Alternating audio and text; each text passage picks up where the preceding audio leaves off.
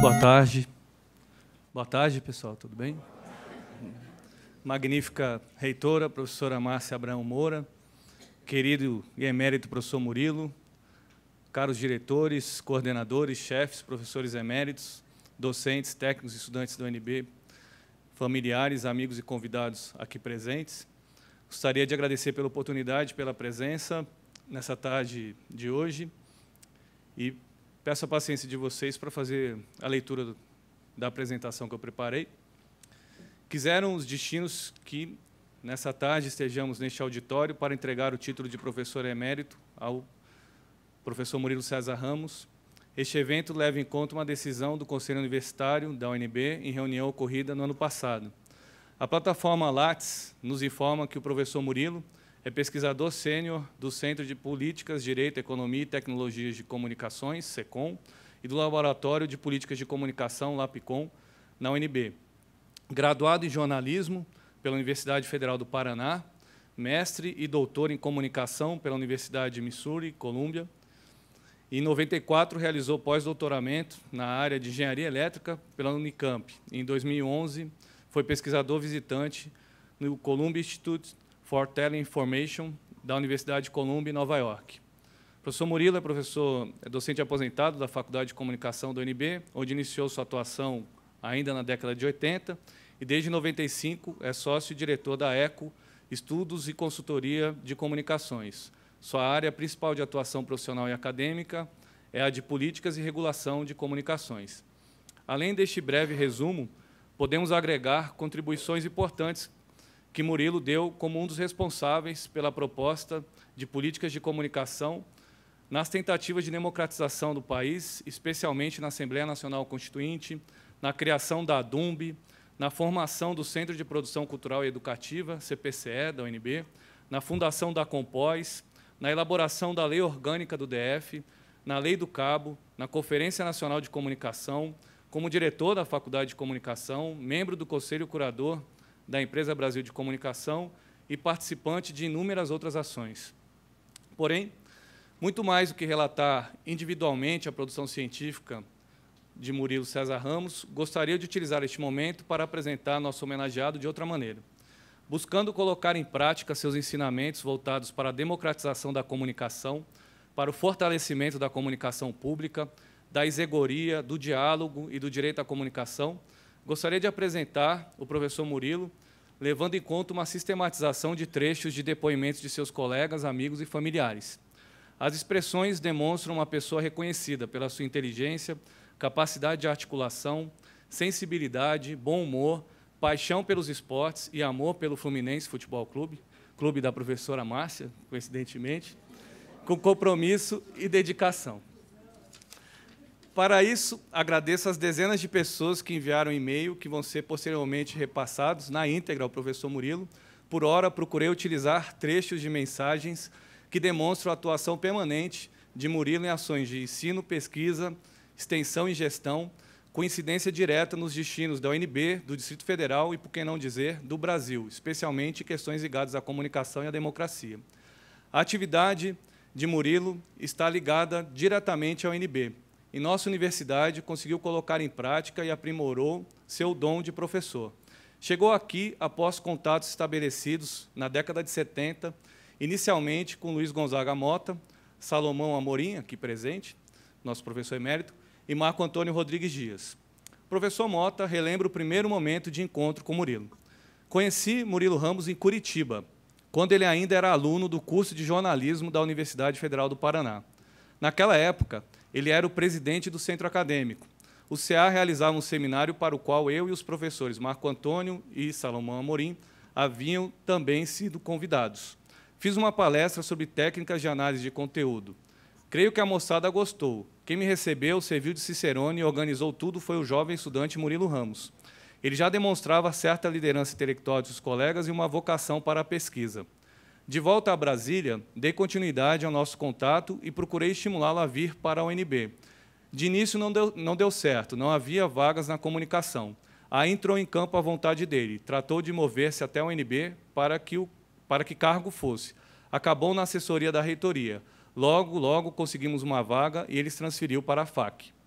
No livro UNB e Comunicação dos anos 70, publicado durante a celebração dos 50 anos da Universidade de Brasília, Marco Antônio Rodrigues Dias faz menção à chegada de Murilo Ramos a Brasília para atuar no Ministério da Educação e o esforço para contar com a sua atuação no UNB. Salomão Amorim, em depoimento enviado por e-mail, conta da satisfação da chegada do colega. Abre aspas. Nós o recebemos com carinho. Murilo continuou a nossa luta por uma das bandeiras mais caras da FAC, a das políticas democráticas de comunicação. Amigo de muito tempo, Carlos Augusto Sete reforça a contribuição oferecida pelo professor Murilo aos debates sobre comunicação e democracia.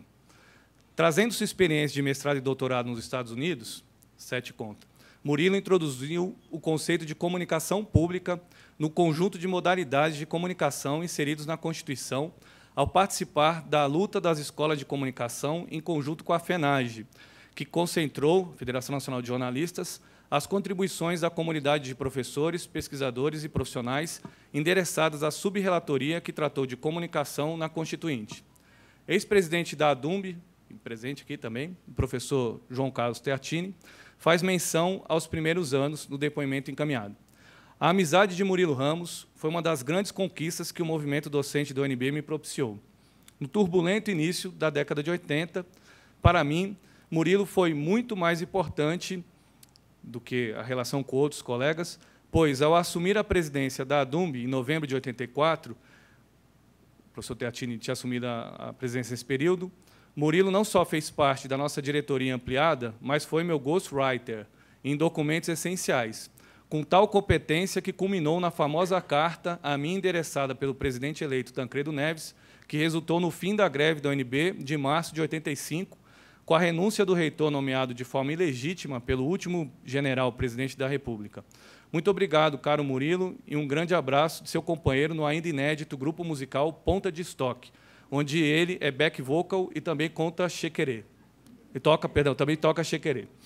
César Bolanho, professor titular da Universidade Federal de Sergipe e ex-presidente da Associação Latino-Americana de Investigadores da Comunicação, entende que o pensamento e a prática de Murilo é cada vez mais atual. Abre aspas. Conheci Murilo há muito tempo, na época em que participei de uma comissão de avaliação externa do curso de comunicação da FAC. O interessante é que a nossa amizade foi crescendo à medida que nós aproximamos pelo trabalho. Um momento importante foi o da participação dele no convênio CAPS-MACD, que eu coordenei no começo dos anos 2000, e outro foi quando ele me convidou para a FAC como professor visitante por dois anos. O objetivo era aproximar a economia política da comunicação dos estudos sobre as políticas de comunicação. E nessa linha trabalhamos juntos, dividimos cursos na pós-graduação, participamos de bancas cruzadas e acho que, ao final das contas, fizemos um bom trabalho. Minha passagem pela FAC foi extremamente marcante na minha vida, tanto acadêmica como pessoal, e eu devo isso essencialmente ao Murilo, um intelectual que eu respeito profundamente pelo conhecimento acadêmico, pela análise arguta da política nacional, pelo texto de qualidade e um amigo a quem admiro pela sabedoria, pelo conhecimento das coisas da vida e da nossa humanidade. O impacto do contato com Murilo Ramos está presente no relato de Érico da Silveira, egresso da FAC. Depois de formado, conta Érico, procurei o professor Murilo para um aconselhamento profissional. Formado em publicidade e propaganda, não me via trabalhando na área. Ainda muito jovem, estava perdido, sem visão de futuro, com aquelas crises existenciais que misturam a carreira com o divã. Eu esperava aquela mão na cabeça que atenua tudo. É assim mesmo, você chega lá. Desta feita, o que começou como elogio virou uma provocação que moldou o meu percurso profissional. Perguntou Murilo a Érico. Por que meus melhores alunos só resolvem pensar de verdade depois de formados? Agora que acabou, você quer começar a estudar? Eu procurei pensando em um possível mestrado. Depois da bronca, uma orientação. Vejo duas áreas promissoras e que você não está nem pensando: marketing político e programação de TV. São coisas que combinam com você. Murilo me explicou o porquê de cada uma. Ele talvez nem se lembre dessa primeira conversa, mas o fato é que fez toda a diferença na minha carreira e segui trabalhando com a segunda opção, programação de TV. Depois, o mestrado também saiu por conta dele em televisão pública. Jorge Moraes relata uma experiência especial e essencial que revela a capacidade educativa de Murilo. O momento marcante para mim, relata Georgia, foi no mestrado. Eu falava para Murilo de um professor que tinha criticado um trabalho meu, mas não tinha apontado soluções ou outro caminho a seguir. Nesse dia, ele virou para mim e disse que existia uma grande diferença entre um professor e um educador. O professor em questão não era um educador, mas o Murilo, sim. Ele me, ele me guiou nessa trajetória acadêmica. Foi meu orientador de projeto final de graduação e no mestrado. Me levou para a pesquisa e ainda me deu o meu primeiro emprego na época. Formada na FAC, Lara Rage foi aluna e colega de trabalho de Murilo na ECO. Conta ela. Com o professor Murilo, aprendi a arte do diálogo. Conceitualmente, nos debruçávamos juntos, nos debruçamos juntos, perdão, sobre a esfera pública e a ação comunicativa de Habermas e tentamos colocá-las em prática num diálogo amplo sobre políticas públicas para o setor de comunicação, envolvendo não apenas acadêmicos, como militantes, empresários e representantes do governo. A capacidade de Murilo de ser ouvido e respeitado por representantes de diferentes Perdão, a capacidade de Murilo de ser ouvido e respeitado por representantes de diferentes espectros da sociedade é impressionante e admirável. Soma-se a isso uma capacidade incrível de construir afetos e intimidade, de promover uma troca, sobretudo humana, que vai muito além das análises acadêmicas e políticas. Mauro Porto, professor da Universidade de Tulane, se apresenta diretamente em seu depoimento. Sou um daqueles indivíduos privilegiados que teve a oportunidade de conviver com Murilo na qualidade de aluno e de colega de trabalho. Quanto mais o tempo avança, menos detalhes lembro do meu curso de jornalismo na UNB. Todavia, a disciplina Comunicação Comparada, lecionada por Murilo, deixou marcas indeléveis. Murilo foi um mentor importante para muitos de nós, oferecendo bases sólidas para o estudo da economia política e das políticas de comunicação. Foi também parceiro permanente nas lutas pela democratização da comunicação. Durante o Encontro Nacional dos Estudantes de Comunicação, que teve lugar na UNB em 1986, Coordenei uma mesa sobre a questão da comunicação na Constituinte, que contou com a participação de Murilo e de outras lideranças importantes, como Armando Hollenberg. Existe um registro em vídeo desta mesa, está no YouTube, feito pelo sistematizado pelo Fernando Molina, que está aqui, décimo Enecom, 1986. Muitos anos depois, em 2001, Mauro Porto se tornou professor da Faculdade de Comunicação, num período no qual Murilo tinha sido recentemente eleito diretor da faculdade. Mauro conta que teve o prazer de compor a comissão que criou o doutorado em comunicação no UNB, sobre as lideranças de Murilo, Denilson Lopes e Johnny Moura. E o título de professor emérito é um reconhecimento mais do que merecido a tudo que Murilo conquistou na sua carreira acadêmica. Mauro envia a ele as calorosas felicitações, desde o berço do jazz em New Orleans, aguardando sua visita, professor Murilo, lá para celebrar este novo reconhecimento. Fernando Molina, citado agora há pouco, foi aluno de Murilo, durante a graduação e a pós-graduação no UNB. A competência do curso de jornalismo era atestada pela quantidade de profissionais ali formados, que ocuparam posições de destaque em todas as grandes redações, tanto dos veículos de Brasília como das sucursais. Ao mesmo tempo que colaborava para fazer do campus uma experiência que coroasse o curso, com a oportunidade de praticar o jornalismo como gente grande, o professor Murilo era aberto a experimentações, foi assim que apoiou o movimento dos alunos para desenvolver e explorar as possibilidades editoriais e estéticas do jornalismo impresso, criando encarte no campus. Em cada edição havia uma possibilidade de experimentação. Rodrigo Brás, aqui à frente no auditório, conta que o encontro com o professor Murilo o levou a novos pensadores, dentre eles Paulo Freire, para quem educação é um ato de amor, por isso um ato de coragem. E dessa maneira, abre aspas, se é fato que ainda não tivemos muitas conquistas no âmbito da democratização das comunicações, é preciso dizer que grande parte delas, pelo menos as que ocorreram, tiveram a contribuição do professor Murilo, do professor Murilo e que as ideias dele continuam a nos iluminar nesta batalha. Márcio Ório convive com o professor Murilo em atividades realizadas pelo Centro de Políticas, Direito, Economia e Tecnologias das Comunicações. Murilo, para mim, é uma pessoa com a personalidade ímpar, agregadora e aberta à diferença. O conheci quando eu estava no início da carreira docente, um recém-ingresso, novato no UNB, sendo chamado para um projeto interdisciplinar, nunca antes tentado por aqui, na reunião das áreas de comunicação, direito, economia e engenharia, sobre o novo fenômeno da regulação de telecomunicações no Brasil. Tudo era novo, e ele conseguiu, em uma reunião, não só trazer à mesa áreas com visões antagônicas sobre o que deveria ser a regulação, mas também inaugurar a formação acadêmica dos primeiros reguladores com atividades que foram desenvolvidas na América Latina, África e Ásia. Otávio Perante, pesquisador nas comunicações, reitera a capacidade de acolhimento do professor Murilo. Conversei, Murilo pela, conversei com o professor Murilo pela primeira vez, quando, por coincidência, estava tratando do mesmo tema de uma pesquisa que ele orientava. Eu mestrando início de trajetória acadêmica no Rio, ele há décadas uma referência na pesquisa em políticas de comunicação da área. Em 2016, me senti honrado quando ele, mesmo aposentado, aceitou me acolher e supervisionar minha pesquisa de pós-doutorado na UNB sobre um tema improvável, a migração de emissoras de radiodifusão estatais para o sistema público no Brasil e no leste europeu. A trajetória do professor Murilo é reconhecida dentro e fora do Brasil.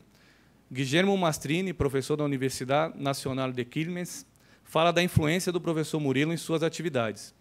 Conheci o professor Murilo no congresso da Intercom de 97, mais precisamente em Santos.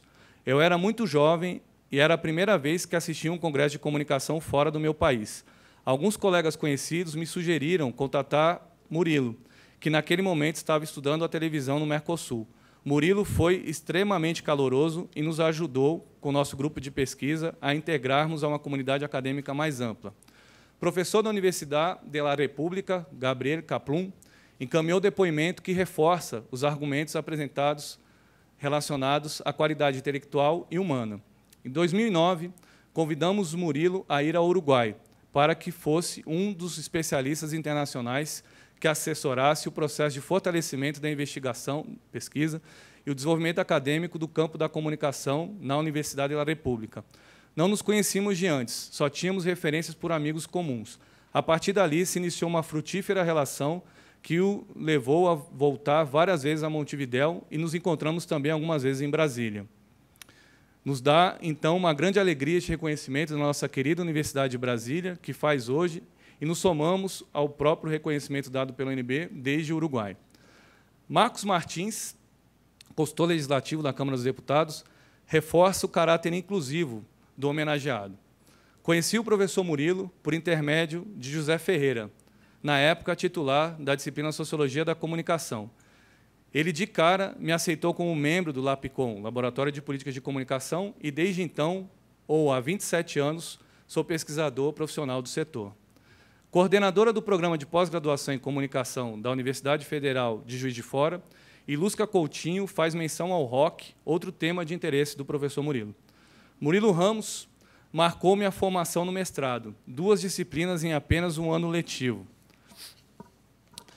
Em 2010, nos reencontramos a partir de sua atuação no Conselho Curador da EBC, e também havíamos nos encontrado quando eu fiz o perfil sobre ele para um livro promovido pela Intercom. A redação do texto, além da entrevista em profundidade e da consulta a documentos, teve a contribuição fundamental de Sérgio Caparelli, que me contou sobre a aproximação entre Murilo e as bandas de rock de Brasília. Os intertítulos do capítulo, assim, acabaram embalados por faixas ou álbuns de LPs de bandas como Paralamas do Sucesso, Legião Urbana e Capital Inicial. Para Juliano Carvalho, professor da Unesp, Murilo idealiza, realiza e ensina. Conheci o professor Murilo em 1994, durante o seu pós-doutorado na Unicamp. Ele participou de um seminário histórico na, Universidade de Campinas, com os principais expoentes dos segmentos de mídia e telecomunicações.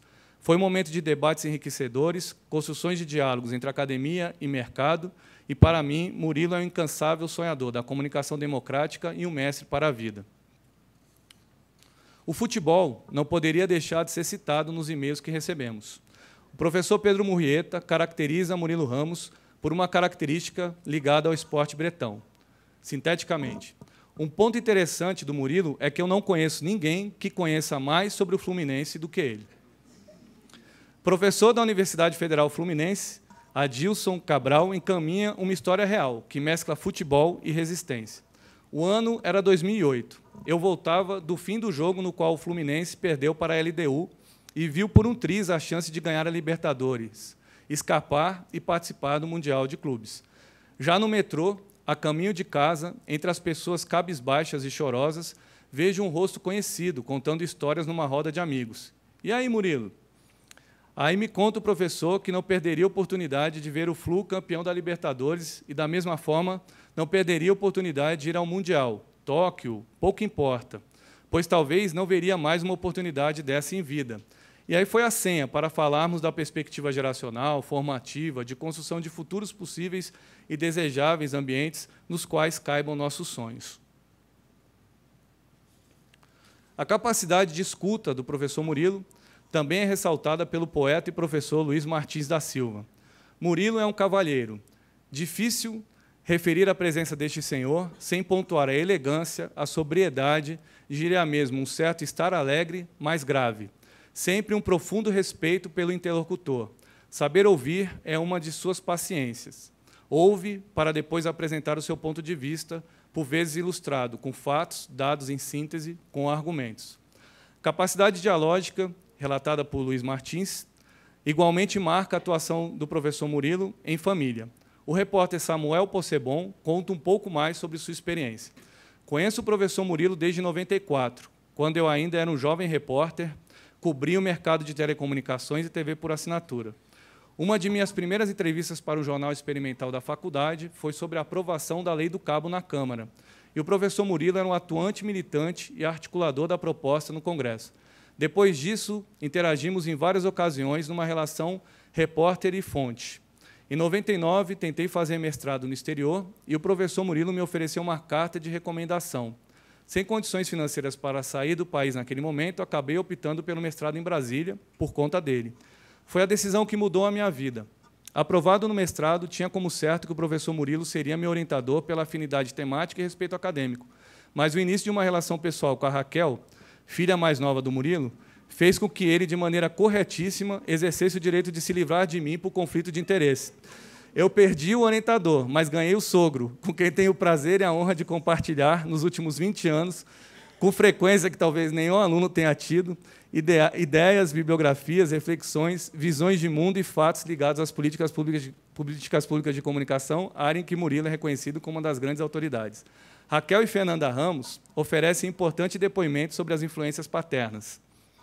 Vocês são filhas do professor Murilo? Assim começaram muitas conversas em que elas ouviram histórias e elogios que davam a certeza de que, nesse momento, um dia isso iria acontecer. Abre aspas. Algumas dessas pessoas estão até hoje, até hoje em nossas vidas, agora não só como ex-alunos do nosso pai, mas como amigos e até marido. E sabemos que o lugar que ocupamos no coração dessas pessoas está intimamente ligado ao papel que nosso pai representou na vida deles. Ser filho de professor é ter, em alguma dimensão, outros irmãos e irmãs espalhadas pela vida. E a ligação dele com essa escolha profissional foi sempre tão forte que afetou de forma significativa nossas escolhas profissionais, apesar de ter sido um pai que respeitou e nunca interferiu nas opções que, ao longo da vida, fizemos. Ainda assim, uma, apesar de ter fugido do professor, foi ser jornalista, e a outra, professora, mas de psicologia. Muitas sessões de terapia depois, descobrimos, como fazem todos os filhos, que inconscientemente também reproduzimos as angústias paternas. Para a jornalista, a dificuldade de ser repórter, e para a psicóloga, o sofrimento de lecionar. Com o tempo e terapia, ressignificamos nossas carreiras e trazemos em nossas escolhas atuais não apenas frustrações reelaboradas, mas principalmente o entendimento de que angústias são parte inevitável de trajetórias profissionais suficientemente felizes e que as conquistas todas devem ser reconhecidas e celebradas. E, em meio, Marilene Ramos oferece mais detalhes sobre os primeiros passos, os sonhos e as realizações compartilhadas em família. Abre aspas. Quis o destino que nossa história começasse em 1968, numa sala de aula de meu colégio Santa Rosa, quando minha pequena sobrinha diz à sua jovem professora Tânia: Sabia que minha tia Lene é apaixonada pelo seu irmão? Sete anos depois, chegávamos em Brasília com a primeira filha e, desde então, as salas de aula do UNB fizeram parte da nossa parceria. Acompanhar essa trajetória profissional me fez admirar a sua capacidade de criar projetos, reinventar-se sempre que foi preciso, agregar pessoas e formar diferentes grupos para concretizar suas ideias. Nesses 50 anos de convivência, aprendi a entender sua essência sonhadora e seus ideais com inegável potencial realizador. Hoje estou aqui feliz com esse reconhecimento institucional e grata por compartilhar não só esse momento, mas as nossas melhores criações, nossas duas filhas e nossos três netos. Finalmente, A irmã Tânia Oliveira Ramos, professora da Universidade Federal de Santa Catarina, sintetiza a aventura familiar e existencial de nosso homenageado. Abre aspas. O que o pai e a mãe diriam nesse momento de seu filho mais velho, inteligente, tímido, o melhor aluno do coleginho São José, Lages, que acolhia a diversidade oligárquica até hoje, o adolescente aprovado no exame de admissão do, de, do desejado Instituto de Educação na praça principal da cidade, dos novos, importantes e descolados amigos, do Capanema e da Bossa Nova, da paixão pelo Fluminense desde pequenininho, do time de basquete e seu sugestivo nome, Funil, do professor dileto de inglês, quase seu guia espiritual, que acreditou e investiu no aluno promissor para novas trajetórias, Kingman, Arizona, do retorno para o colégio diocesano, muito mais pelo time de basquete do que pelas disciplinas que lhe faltavam. O CPOR, a revelia, a engenharia sem paixão, deixada para trás as lágrimas da mãe e a certeza que o filho lhe dá. Não estava feliz, mãe. Vou fazer jornalismo e a senhora vai se orgulhar de mim. Na casa, ainda sem livros, a leitura sempre foi a presença constante e rotineira da, do Cruzeiro, da Manchete, doadas pelo médico da cidade, vindo da Alemanha depois da guerra, para fazer o bem. Os personagens da Disney, lidos pelo pai antes dos filhos. A rádio nas ondas da Nacional. No sótão, a coleção em sépia da revista Detetive, a coleção completa da revista do rádio, encadernada em vermelho e colecionada pela avó materna, leitora em cuja mala colada a foto do Flamengo e da carta testamento do Getúlio, e o orgulho do pai, a assinatura anual e sempre renovada das seleções do Reader Digest geracional. Além do sono e do sonho, benção mãe, benção pai, e as palavras cruzadas, tudo compartilhado com a irmã, únicos os dois, companheira até hoje, de afinidades eletivas e afetivas e da questão da saudade. Professor Murilo, é atribuído a Cícero a ideia de que a gratidão não é somente a maior das virtudes, é também mãe de todas as outras. Grato por suas lições, dentro e fora da sala de aula, a Universidade de Brasília o aclama. Muito obrigado.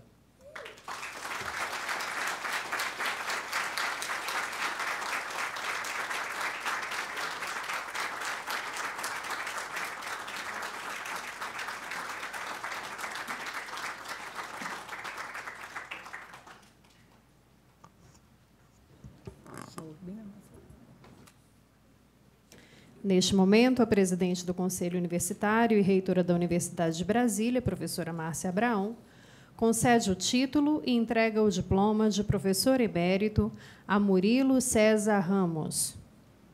Eu, Márcia Abraão Moura, presidente do Conselho Universitário e reitora da Universidade de Brasília, confiro ao docente Murilo César Oliveira Ramos o título de professor emérito que foi concedido pelo Conselho Universitário, de acordo com o que preceitua o Estatuto da Universidade de Brasília.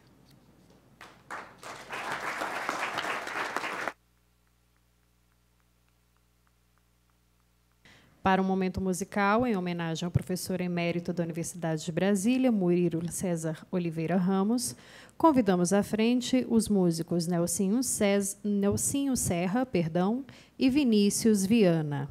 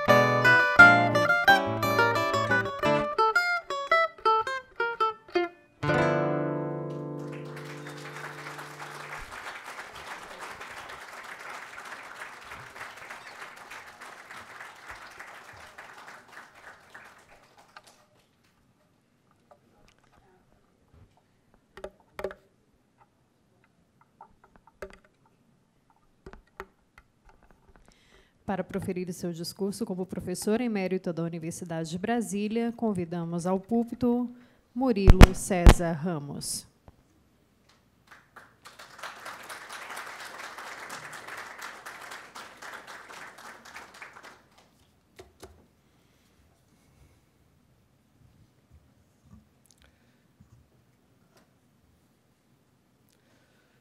Professora Márcia Abrão, presidente do Conselho Universitário e magnífica reitora da Universidade de Brasília, professor Fernando Paulino, diretor da Faculdade de Comunicação, professor Paulo César Ferreira, chefe de gabinete da reitoria, eh, professores eméritos, José Salomão Davi Amorim, meus queridos amigos, Vinícius Arthur de Lima, Maria Estela Grossi Porto, Sérgio Porto. É, enfim, eu vou fazer uma coisa profundamente arriscada para mim, sempre que eu me vejo nessas situações, eu vou editar meu discurso. Tá? Primeiro, depois daquela sarevada emocional que foi a fala do Fernando. É? É, é, algumas coisas foram ditas, enfim.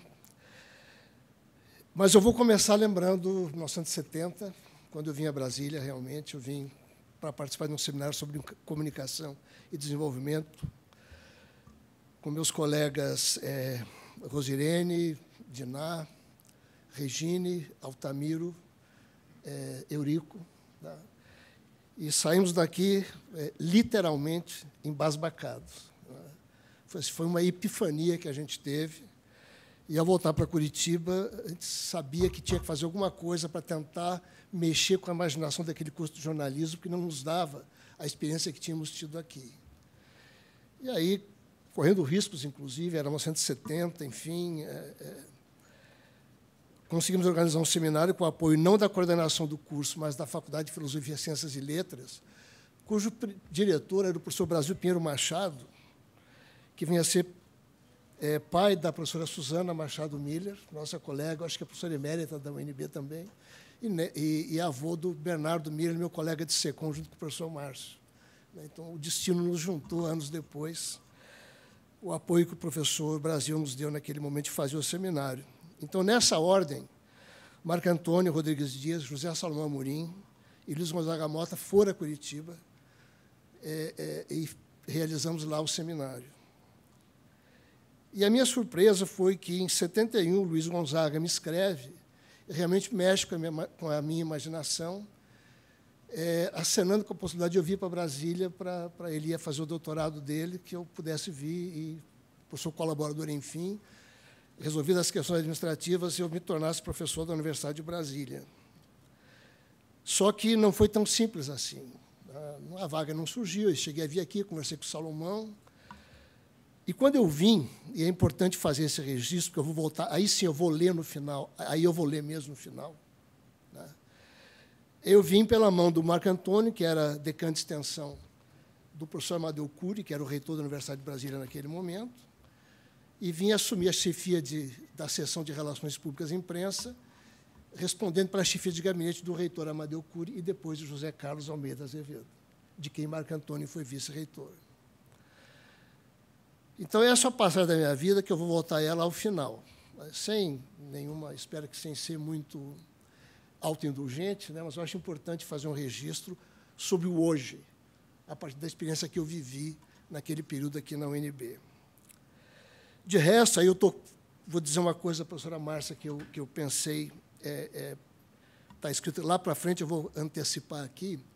Quando a gente apresenta o memorial para o Conselho Universitário, a gente fala do eu. Eu fiz, eu fiz. E quando você começa a fazer uma coisa dessa, o eu vira nós. E, de fato, o cerimonial nos pede que, em cinco minutos, a gente faça os agradecimentos é, é, nessas solenidades. Claro que ninguém fala os. Desde que eu tenho é, é, assistido a solenidade, ninguém fala os cinco minutos. Eu vou tentar falar menos do que os 25 que eu preparei. Mas é, é, é uma, uma chance única de realmente fazer alguns registros. Por exemplo, eu voltei para dar uma disciplina de técnica de jornal e periódico. Era disciplinas que, que não, perdão, era pesquisa de opinião e mercadologia, quando eu voltei com meu doutorado em 82, que você dava essa disciplina há muito tempo, POM. na graduação e técnica de pesquisa, técnica de pesquisa e metodologia de pesquisa no mestrado. Recém-doutor é o que você dá, né? E uma aventura do destino me fez cair na redação do campus para implantar o jornal Estágio na graduação.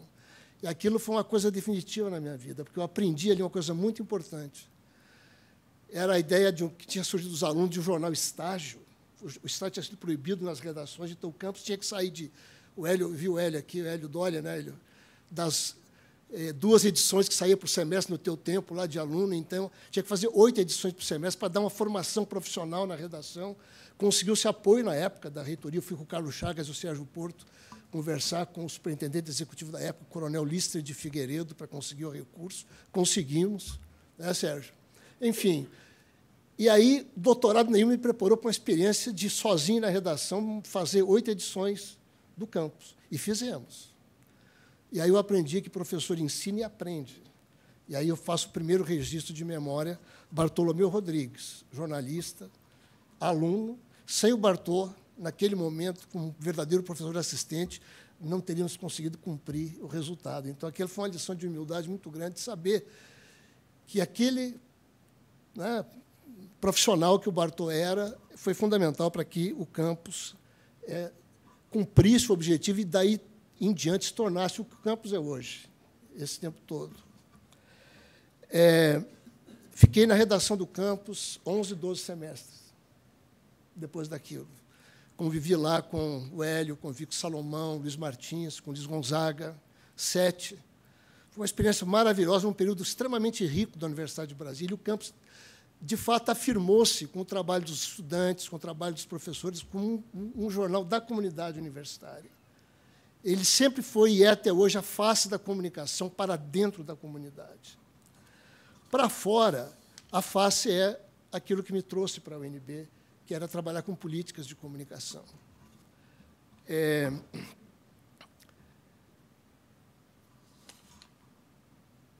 desde 70, e os, tivemos a solenidade linda do Salomão aqui, né, semanas atrás, ele retratou, ele colocou isso muito bem, era a nossa tradição, aquilo que me fez vir para cá, que me fez realmente me dedicar a essa área.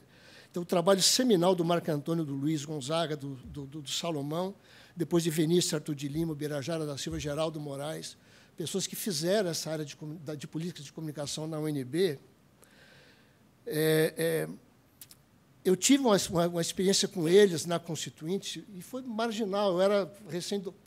Assim, eu, eu vim beber daquela tradição com eles né, no período da Constituinte, mas foi um aprendizado enorme que eu vivi naquele período é, é, é, e me, me, me deixa satisfeito imaginar que talvez eu tenha ajudado a continuar essa tradição no nosso programa de pós-graduação da Faculdade de Comunicação, na medida em que eh, nós estamos avançando com esse projeto das políticas de comunicação aqui. Então, a experiência da Constituinte que eu vivi, assim, um pouco marginalmente, fez com que surgisse o Laboratório de Políticas de Comunicação, o LAPCOM, que foi o grupo de pesquisa criado em 91, a partir de uma demanda surgida da sociedade, de que é, é, colaborássemos num projeto de inscrever na Constituição do DF, na, na, na, lei orgânica, um capítulo da comunicação, tal como na Constituição Federal. Então, apresentei um projeto ao CNPq de, de, de pesquisa, é, a comunicação social na lei orgânica do DF, e aí o LAPCOM surgiu, e aí eu começo a fazer de novo os nomes dos registros, certo? As mestrandas, Ana Lúcia, a mestranda Ana Lúcia Novelli, o mestrando Percy Coelho de Souza, né? é, as graduandas Cecília do Espírito Santo, Fernanda Melazzo, que eu revejo depois de tantos anos ali, Fernanda, a Patrícia Mesquita, Thais Herédia e o Marcos Augusto Martins, ali do lado da Fernanda. Marcos, que é meu parceiro há 27 anos, né, depois daquele, é, é, da nossa experiência do LAPCOM. E o LAPCOM, na tradição criada, desenvolvida pelo Salomão, pelo Vinícius, pelo Marco Antônio, pelo Luiz, o LAPCOM manteve esse trabalho, é, o nosso trabalho de militância, de pesquisa ao longo dos anos 90, é, é, junto ao Fórum Nacional para a Democratização da Comunicação, a lei de TV a cabo foi fundamental para a minha própria experiência e vivência. E aqui, de novo, um registro de, um registro de duas pessoas que foram fundamentais para mim naquele período, Daniel Hertz e Carlos Eduardo Zanata. Né? E aí eu, eu, me emociono me lembrar disso hoje, porque o Daniel foi meu primeiro orientante de mestrado. tornou-se meu amigo, com uma relação super fraterna. E o Daniel morre em 2006, prematuramente, o Zanato em 2007. Ambos prematuramente. Eu, é difícil para eu poder expressar em palavras a falta que aqueles dois me fazem até hoje. Tá? Pela amizade, pela generosidade, por tudo e pela, pela, pela, pela, pela referência que eles eram para mim naquela, naquele trabalho que fazíamos na, na ocasião em políticas de comunicação. Em 2012, é, de 2005 a 2012, o LAPCOM viveu uma fase muito bacana com um projeto com a Fundação Ford. Tinha um projeto guarda-chuva, né, Fernando, é dessa época, né, bases normativas é, de um novo modelo institucional para as comunicações brasileiras. Foi quando o César Bolanho veio para cá, ficou um ano conosco, Suzy dos Santos é, veio ficou um ano conosco, é, Sayonara Leal, né, Sayonara está lá, é, no Lapicon naquele período, é, é, Carlos Eduardo, Esch, Nélia Del Bianco, Observatório da Radiodifusão Pública. A, a, linha cresce de pesquisa com o Lapicon, a Dácia Ibiapina vem para a linha, traz políticas de cultura junto. É, é, enfim, período extremamente rico é, é, da pesquisa por um grupo que foi criado naquele momento, sempre na continuidade de um projeto que tinha começado lá atrás. Lá atrás. E aí vem um desafio já também mencionado aqui, né? Esse foi o mais interessante, o mais talvez tenha sido o, o, o projeto assim que mais desafiador para mim, que é o projeto Secom. A ideia de eu fui com a professora Zélia na ocasião, isso em 99, conversar com o então presidente da Anatel, Renato Guerreiro, dizer está surgindo um negócio novo que é esse regulador de telecomunicação. O que, que é isso? Havia um sentimento de que era, não era engenheiro, não era advogado, não era economista, era um bicho estranho, e eu dizia assim: é preciso que a universidade pública seja responsável pela formação desse perfil. Porque a privatização da Telebrás tinha se dado a partir de consultorias privadas, enfim, de um modelo de fora para dentro. Né? O Rodrigo, que está aqui, fez a tese de doutorado, a última tese que eu orientei, sobre esse processo das consultorias internacionais na privatização da Telebrás. Tá? E esse projeto realmente foi uma coisa sensacional. Né?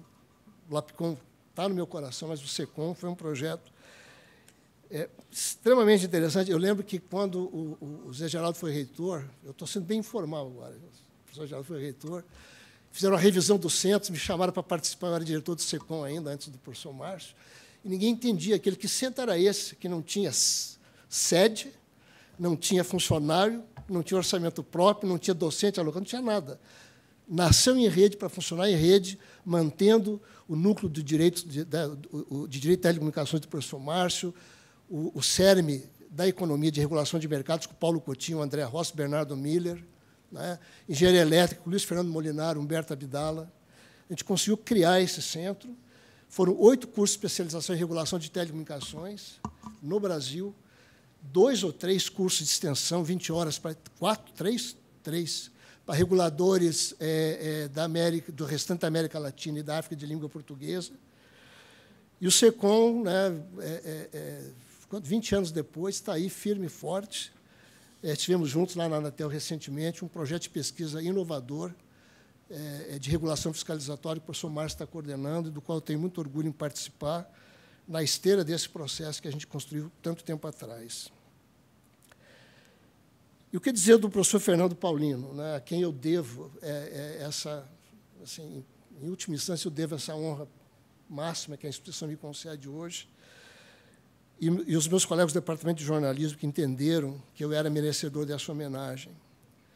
Eu quero registrar a generosidade do Luiz Martins, né, não só. O Luiz, o Luiz é, é, é, tem uma atitude assim que eu considero rara no meio universitário, assim, porque o professor Fernando Paulino era orientando do Luiz desde a graduação. O projeto recebeu essa imprensa no mestrado.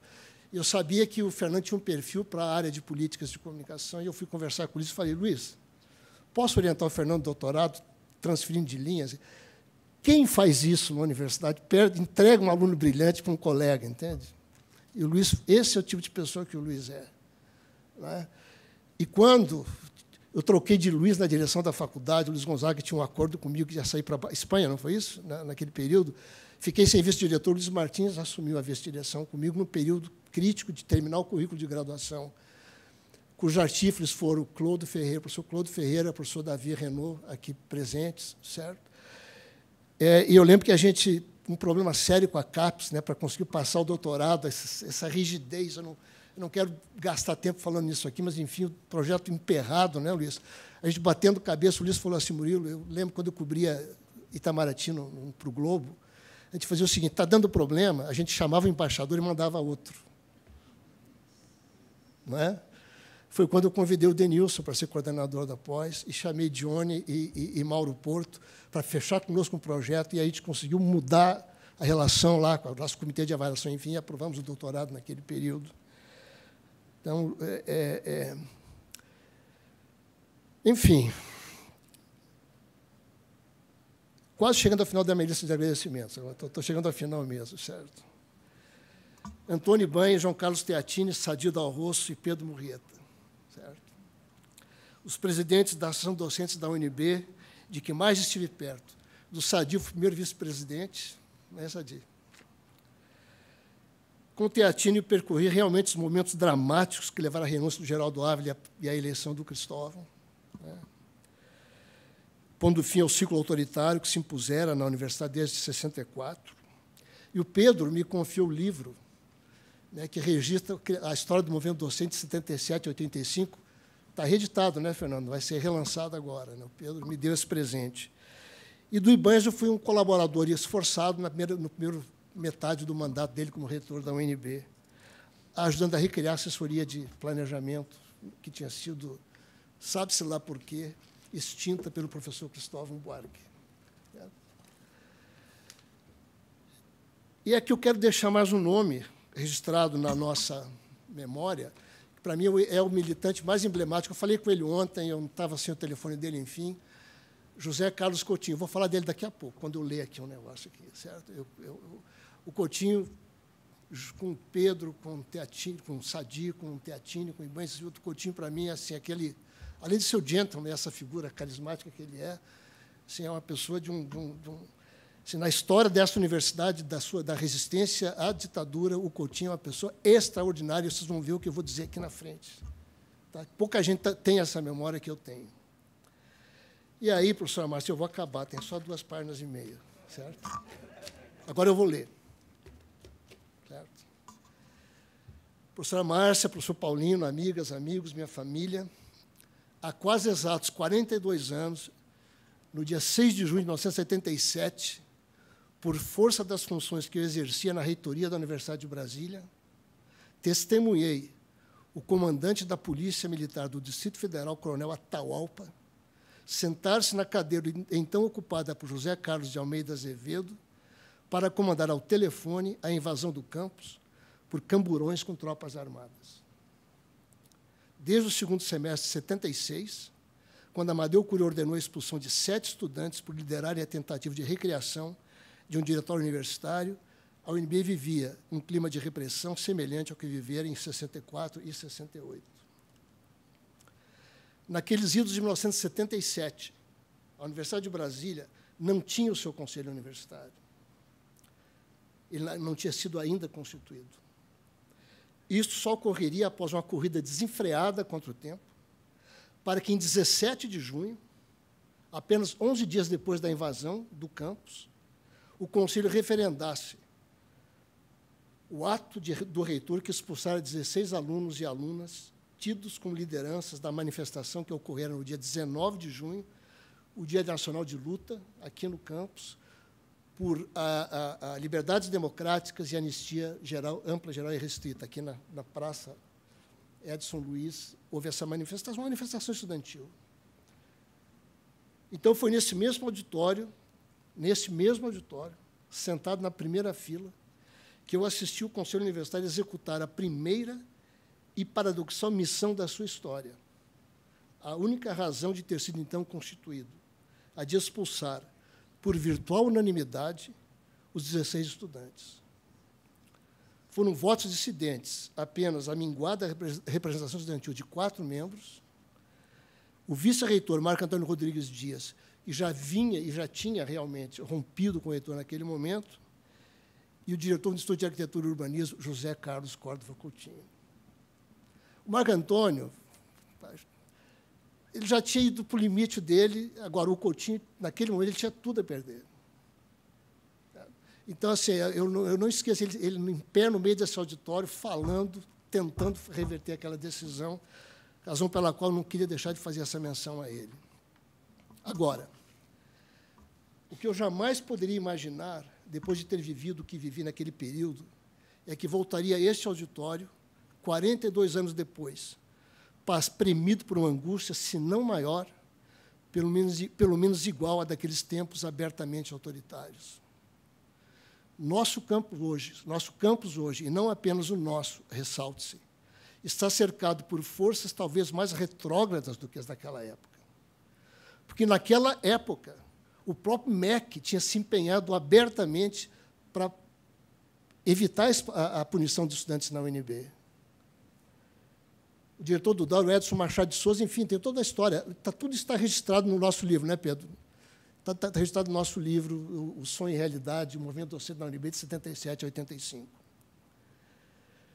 Hoje, o circo, a Universidade de Brasília e a Universidade Pública em geral, é comandado pelo próprio Ministério da Educação. E o que está por trás não é uma batalha entre democracia e ditadura, mas uma batalha entre razão e ignorância.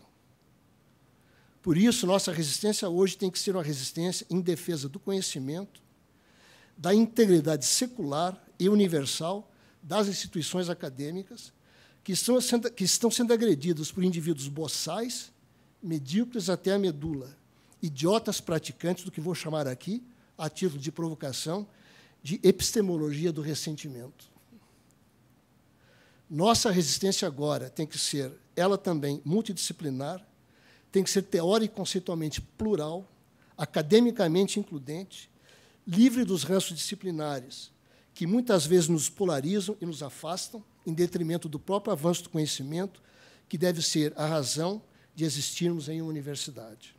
O que está em curso, e é preciso que tenhamos isso muito claro, é a banalização do saber, da pesquisa, do ensinar e aprender, em nome de uma guerra cultural regressiva, proto-medieval, fundamentalista, profundamente perigosa, porque farsesca, e a farsa, como muitos sabemos, é o prelúdio da tragédia.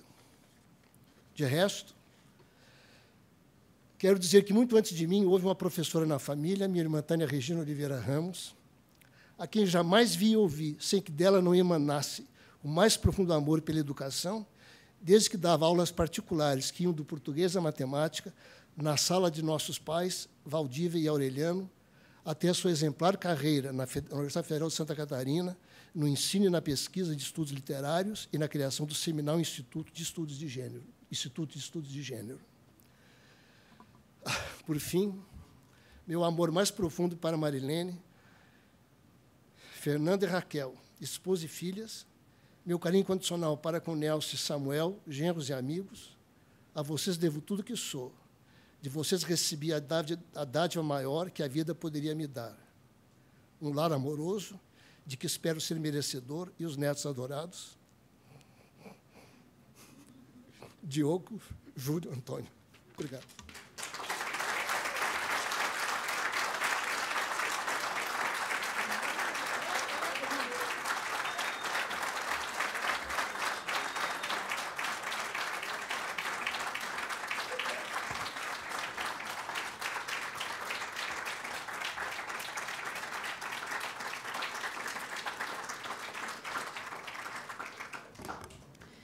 Informamos que, ao final desta cerimônia, será servido um coquetel no Salão de Atos da Reitoria. Ouviremos agora o pronunciamento da magnífica reitora da Universidade de Brasília e presidente do Conselho Universitário, professora Márcia Abraão Moura, que em seguida irá declarar o encerramento desta sessão solene que concedeu o título de professor emérito a Murilo César Ramos. Boa, boa noite para os que chegaram depois. É, eu já tinha pouco a falar, agora eu tenho quase nada. Eu inicio cumprimentando o professor Fernando Paulino, diretor da Faculdade de Comunicação, nosso mais é, novo, nosso mais fresco emérito, professor Murilo Ramos. É um prazer enorme, eu conheço o professor Murilo de nome, né? é, um, é um nome na universidade, para toda a sociedade e tive agora a oportunidade de ouvir essas belas palavras. É, muito obrigada pelas palavras e, e, por toda a sua trajetória na universidade. Cumprimento a comitiva aqui presente, grandes amigos meus aqui junto, é, todos os presentes, os eméritos, os representantes da administração que estão aqui, o professor Paulo César, que hoje ocupa a chefia de gabinete brilhantemente, meu escudo ali, meu parceiro de todo dia. O professor Zé Augusto, secretário de Gestão do Patrimônio, está encarregado de levar adiante, ajudar a levar adiante a universidade. A professora Thais, professora da faculdade, e é, faz a Secretaria de Comunicação. Está à frente da Secretaria de Comunicação. Cumprimento todos os professores, familiares, é, é, os amigos do professor Murilo, como reitora, eu costumo dizer nessas solenidades, né, já tem alguns que eu já otorguei o título, né, e que é uma honra, não só uma honra para a universidade, mas é um momento de reconhecimento da própria universidade. É quando a universidade se apresenta para a sociedade é, por meio das pessoas que fazem a academia, que fazem a história da universidade. Então, no momento que a, que a universidade outorga o título de emérito, ela mostra a sua qualidade. E então, professor Murilo, eh, nós só temos, de fato, a agradecer. E neste dia, né, é, que nós estamos também celebrando é, uma conquista que vocês iniciaram quando estavam à frente da ADUMB, e que a Dumbe agora continua brigando pelo um dos assuntos que vocês brigavam na época, que é a URP, né? e que nós continuamos à frente dessa batalha. Então, hoje nós divulgamos uma circular com um novo parecer, é, revogando o parecer anterior, que nós devemos continuar pagando a URP como nós temos feito ao longo dos anos, né? com muitos riscos, com muitas ameaças né? que esta reitora tem sofrido, e, juntamente com o trabalho é, do chefe de gabinete, da Procuradoria Jurídica, é, a ADUMB nos provoca, porque nós, é, como é, administração pública, né, nós temos que defender a administração pública, mas por meio da, do sindicato, que vocês estiveram à frente, a universidade continuará é, pagando a URP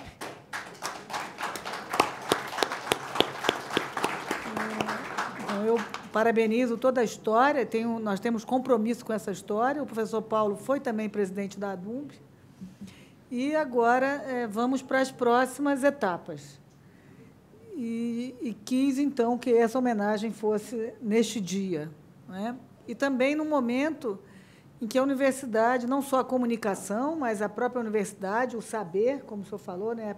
a epistemologia do ressentimento, eu vou guardar essa expressão e que a universidade é colocada ah, sob questionamento da própria sociedade.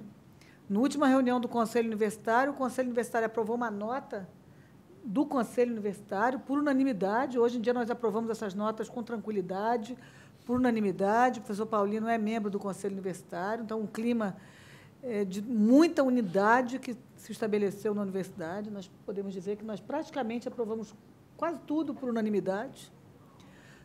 É, obviamente tem debate, tem divergências, né? isso não quer dizer que não, há, não haja divergência, mas há debates e divergência.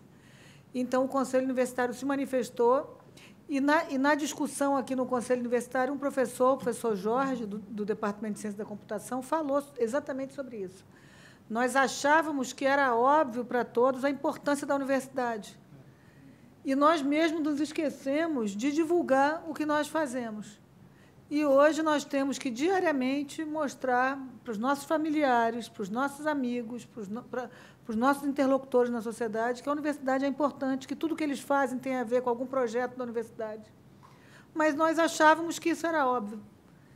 E hoje não é assim que se pensa, infelizmente, em grande parte do nosso país e de outros países. Por isso que nós temos um, uma missão muito maior hoje, né? concordo plenamente que o debate hoje é um debate da racionalidade, não é um debate do papel da universidade, do, do papel do conhecimento.